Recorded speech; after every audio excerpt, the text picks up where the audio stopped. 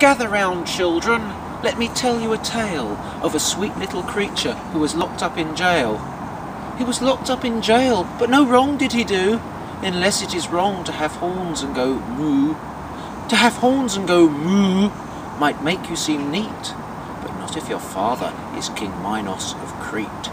King Minos of Crete said, As a freak he'll be classified.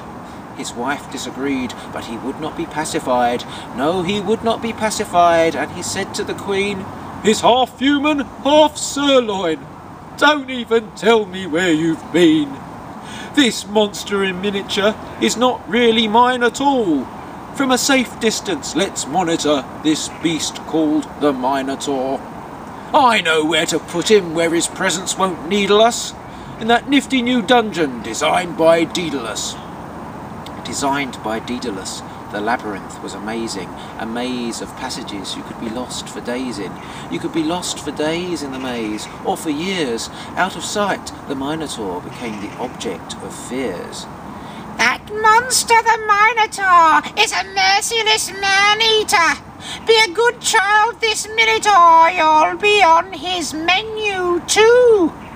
The children of Athens were chosen by lot to be shipped off to Crete to that terrible spot. They were thrown in the labyrinth to face the dread beast. It was thought that the Minotaur would make them his feast. And if you listen to most people, they say that's what he did.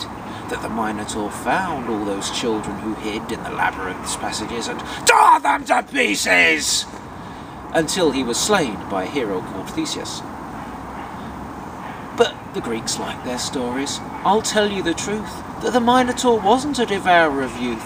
No, he didn't eat children. He preferred to graze on the dark-loving mushrooms that grew in the maze. The children who went there all perished from fright. Just one glimpse at the Minotaur, and they died at the sight. But Theseus was different. He knew not to judge on what others had told him, on rumour and grudge. While the others had fear, young Theseus hadn't he? But he did have some yarn given to him by Princess Ariadne.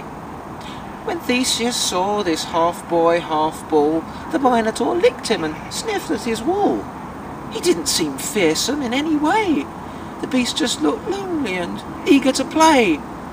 Poor creature, said Theseus, stuck here on your own, while your father, King Minos, has the world round his throne. But I cannot stay with you. My family will think I'm dead. I must find my way out of here by following this thread. When Theseus escaped, he tried to explain that the Minotaur was friendly and hadn't been slain, but they didn't believe him. They did not want to hear. It is easier to kill demons than prejudice, fear,